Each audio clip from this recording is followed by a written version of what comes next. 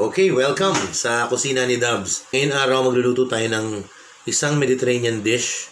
Ang tawag ay shakshuka. Ito po ay paborito ng mga anak ko. Uh, lalo-lalo na pag nilalagyan ko ng twist. Okay, so start na po tayo. Okay, ito na po ang recipe ng ating shakshuka. Let me show you. Okay, syempre, unang-una, bawang, then sibuyas, then yung ating bell pepper, konting sile, at syempre yung cumin, paprika, and then yung ating leafy vegetables, and then eggs, at syempre later, pita bread. Ako, mas prefer ko po pita bread kaysa sa rice. And of course, yung ating, oh, and of course, yung tomato. I chose to use diced tomatoes in cans. Tapos, gagamitan ko na lang ng tomato sauce para pangkulay. Mas maganda yung kulay. Okay, ito naman po yung aking twist. I'll be adding meatballs. Kasi ang shakshuka actually, plain lang siya. Tomatoes, onions, and egg. And then either parsley or basil leaves. Some people use mint leaves. Okay? But right now, I'm going to use dahon ng sile. Okay po yan. Bagay po siya sa, sa shakshuka. Okay, so, lutuin na po natin. Usually, inuuna bawang sibuyas. But ako, inuuna ko yung bell pepper kasi lulutuin ko lang siya muna sandali para hindi siya masyadong lutay-lutay sa dulo. Okay, I learned it from my mother-in-law para daw mas malasa ang bell pepper. Ngayon, mga nagtataka kayo, medyo kulay. Ganyan yung kulay ng mantika. Yan po yung pinagprituhan ko ng manok yesterday. So, ito po yung bawang. And then, isama na muna natin yung uh, yung onions. Isa lang sandali until until maging translucent yung onions. Then, after that, we'll put in the, the chilies, the sili, para lang may konting sipa. Actually, they use cayenne, but ako I prefer to use yung na yung sili talaga. And then I'll put na the meatballs. Napakasimple lang po.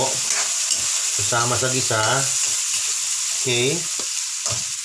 There. Yan po yung meatballs, no? Isa lang po sa pre-cook. Actually, yung meatballs na yan, I bought it from Fresh Option. Ano na ho yan? Pre-cook na. Oh, napakasarap din po ginagamit ko rin po yan sa curry meatballs, sweet and sour meatballs, at sa miswa. Okay, then what do we put next? We put in the tomatoes. So, yan po yung tomatoes. No. Yung tomatoes.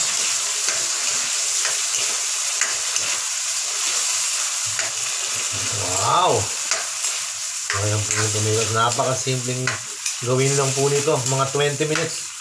Tapos na yan. Okay. Let, let us sim let, let it simmer for siguro mga 2 minutes. And then we, we add on a little paprika. There. And then a little cumin. Yung wife ko naman ayaw niya yung cumin. Dahil amoy putok daw. And pepper. Pepper, importante ako. Gusto ko yan. So, there. Then, halo lang natin ng konti. Again.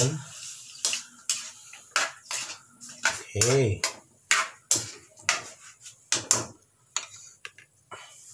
Then, add po natin yung tomato sauce para mas maganda yung color niya. There. And then, syempre, salt. We'll add salt. Add po tayo ng konting water.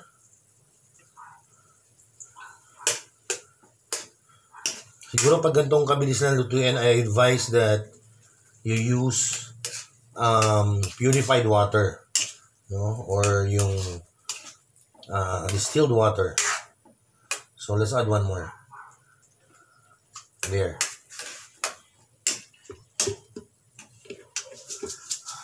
Salt. So, ito po yung salt. Ayan. Kunti-kunti lang. And then, I forgot to mention kanina, kailangan din ng konting sugar. So, there. There. Then, halo po ulit.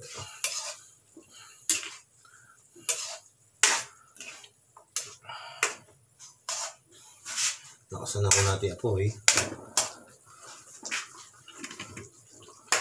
Let's add one more. Okay. Yan. Sandaling sandali lang po, ano? Napakabilis lang gawin.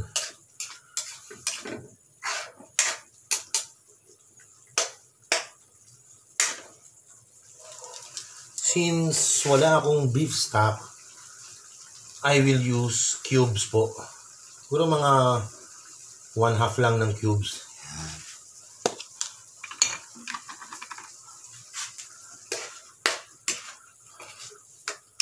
Now, add na po natin yung egg. Ngayon, pag ising egg, parang maglalagay ka lang siguro ng ayan, ng pwesto na lang. There you go. Iyaan nyo lang po siya na ganyan. Then, here. Let's create another one here. There. And then another one here.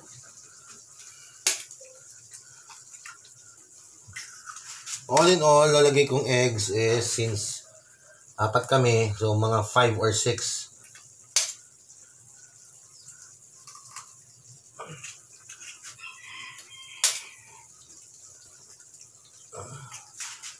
Malalaman niyo pong luto na yung egg pag yung white niya, ayan na, nagiging ganyan na siya lahat.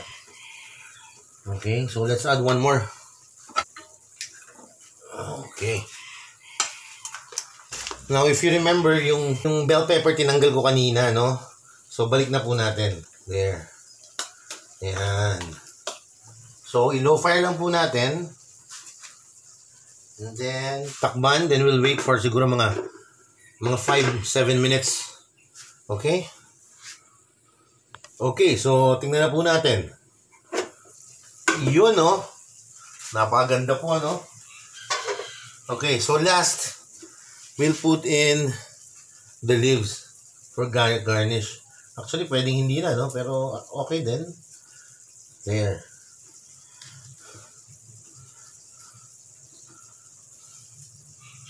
Okay.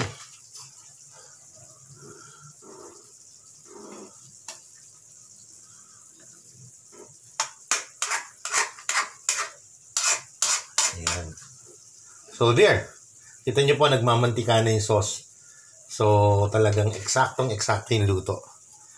Okay, so, tapos na po tayo. I'll see you next time.